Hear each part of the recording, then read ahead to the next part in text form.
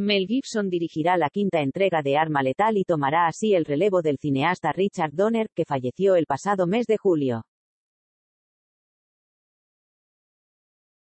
La revista The Hollywood Reporter señaló este lunes que Donner ya tenía en marcha este proyecto con diferentes guionistas trabajando en la historia, pero ahora será Gibson el que, tras la muerte del director, tome las riendas de la película. Arma Letal catapultó a Mel Gibson. La saga de acción y comedia Arma Letal fue clave para que Gibson se convirtiera en una estrella de Hollywood a finales de los años 80 y principios de los 90. Cartel de la primera entrega de Arma Letal con Danny Glover como coprotagonista, la saga contaba hasta ahora con cuatro películas estrenadas en 1987, 1989, 1992 y 1998 y una reciente serie también titulada Lethal Weapon, que se emitió de 2016 a 2019 con un nuevo reparto. El nuevo intento de relanzar su carrera La quinta entrega de Arma Letal supone un nuevo intento de Gibson por relanzar una carrera en horas bajas.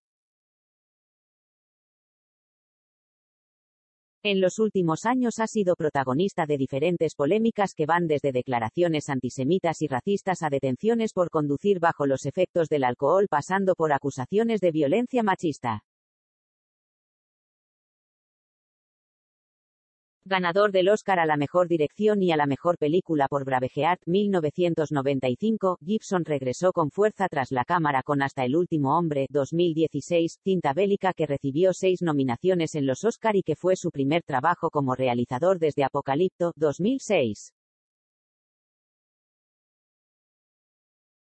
Sin embargo, como actor ha acumulado recientemente una larga lista de proyectos de bajo presupuesto con escaso eco salvo contadas excepciones como Dragged Across Concrete 2018 o The Professor and the Madman 2019.